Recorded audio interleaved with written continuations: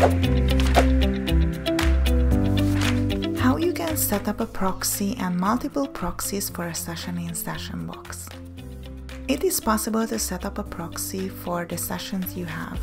To achieve this, open the session within Sessionbox. Press on the three dots and select Settings. On the next screen, hit the Other button and click on the drop-down list under the Proxy header. To add a new proxy, select Add New from the list, or you can select a proxy from the previously added proxy list. On the next screen, you can give a name to the proxy, select the appropriate type from the predefined list, give an address and the port. Adding username and password are optional possibilities. To save your settings, press on the Save button or Cancel to reject.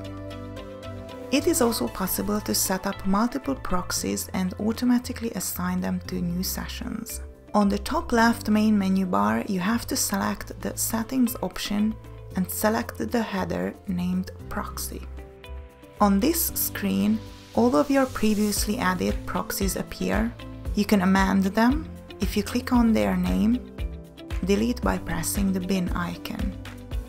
You can add new single proxy and multiple proxies if you press on the buttons on the bottom of the screen. If you are ready to assign proxies to the sessions automatically, turn the Assign Proxies Automatically toggle on. You can also reset your settings if you press on Reset All Session Proxy Settings.